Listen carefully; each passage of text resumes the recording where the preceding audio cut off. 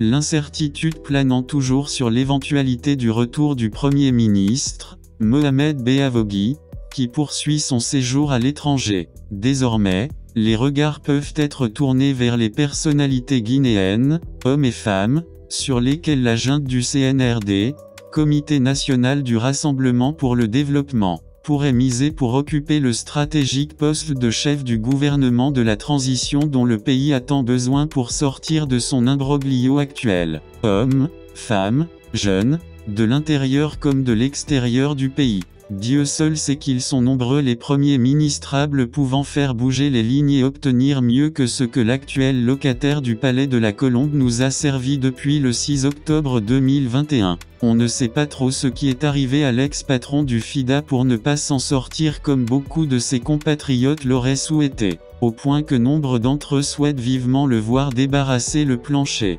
Dans cette perspective, nous dressons une short list de ses possibles remplaçants. Bernard Goumou, Premier ministre par intérim, ministre du Commerce, de l'Industrie et des PME. À tout seigneur tout honneur, commençons par le docteur Bernard Goumou, le ci-devant ministre de l'Industrie et des PME, qui a été promu Premier ministre par intérim depuis le départ en catimini de Mohamed Beavogui pour un séjour qui n'en finit pas de se prolonger. Ce parfait inconnu du grand public avant son entrée au gouvernement semble déjà avoir la confiance du colonel Mamadi Doumbouya. Pour combien de temps? L'avenir nous le dira. Cierno Yaya Diallo, président du parti Guinée moderne. Autres profils intéressants pour la primature, il y a d'abord celui de l'ancien fonctionnaire des Nations Unies, Cierno Yaya Diallo, leader du parti Guinée moderne. Après le coup d'État du 5 septembre, son nom a été cité plusieurs fois pour occuper le poste de Premier ministre.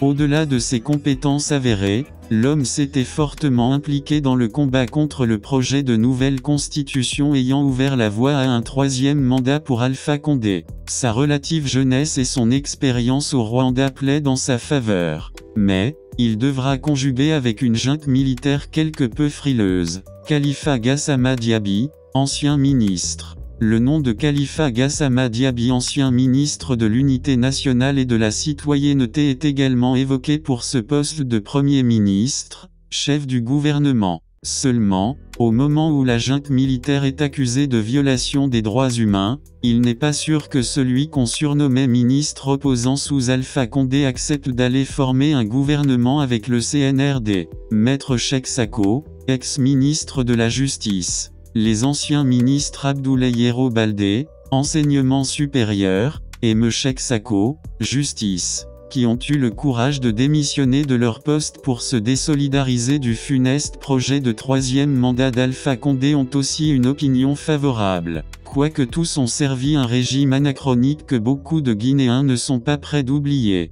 Makale Traoré, ancienne ministre, présidente du Parti pour l'action citoyenne par le travail, la junte peut aussi faire appel à la gaine féminine, Dr Makale Traoré, ex-ministre de la fonction publique, présidente du parti Pacte, et Madame Makale Camara, ex-ministre des Affaires étrangères, ont toutes les deux été candidates malheureuses à la présidentielle de 2020. Mais, les scores qu'elles ont engrangés, 0,72% et 0,73%, laissent penser que les Guinéens ne sont encore pas prêts à confier leur destin aux femmes. Avant les deux Makalé, Adja Saran Darabas s'était essayé contre 23 hommes à la présidentielle de 2010. Mais, elle n'avait récolté que 0,38% des suffrages valablement exprimés. Depuis, ne s'est plus portée candidate à une élection, même locale. Kerfala Yansane,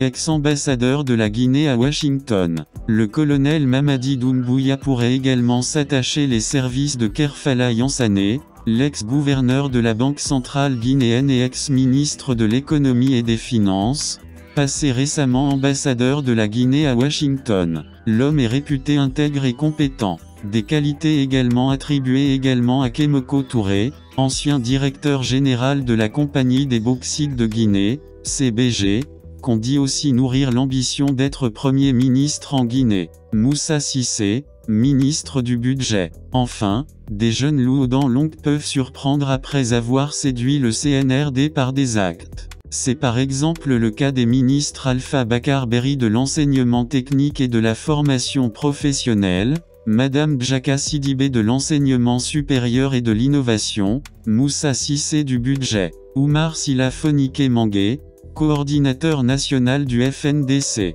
et, pourquoi pas un certain Fonike Manguet une surprenante entrée à la primature du téméraire coordinateur du FNDC serait la plus douce manière d'enterrer la hache de guerre et de piloter une transition paisible. Mais, quelle concession le colonel Mamadi Doumbouya est-il prêt à faire pour avoir à ses côtés l'insaisissable Oumar Silla, qui trouble son sommeil même en étant actuellement au frais, à la maison centrale de Conakry